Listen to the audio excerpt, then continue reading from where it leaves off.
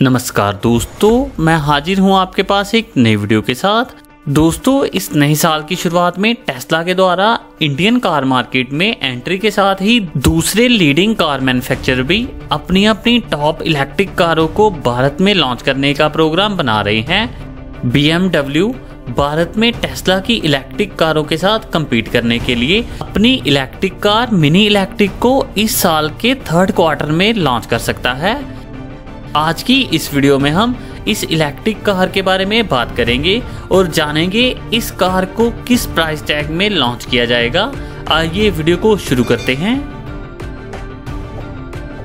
दोस्तों, भारत में इलेक्ट्रिक कारों की बढ़ती डिमांड को ध्यान में रखते हुए बी अपनी popular electric car mini electric को भारत में लॉन्च कर सकती है। BMW के द्वारा अपनी मिनी इलेक्ट्रिक को मार्च 2020 में पहली बार इंटरनेशनल मार्केट में लॉन्च किया गया था। एक बार में फुल चार्ज करने पर लगभग 250 किलोमीटर तक चलने वाली इस इलेक्ट्रिक कार को वर्ल्ड वाइड काफ़ी ज़्यादा पसंद किया गया। इस कार की लॉन्चिंग के वक्त कोविड 19 के कारण भी साल के अंत तक ये कार लगभग 70,000 कारों की सेल को क्रॉस कर चुकी थी। BMW के द्वारा अपनी three door hatchback electric car में 32.6 किलोवाट की लिथियम आयन बैटरी लगाई गई है। के अलावा BMW के द्वारा इस कार में 135 किलोवाट की इलेक्ट्रिक मोटर लगाई गई है, जो 270 न्यूटन मीटर की टॉर्क जनरेट करती है। ये इलेक्ट्रिक मोटर इस कार को ज़ीरो से लेकर 100 किलोमीटर पर आवर स्पीड लेने के लिए 7.3 सेकंड का समय लेती है।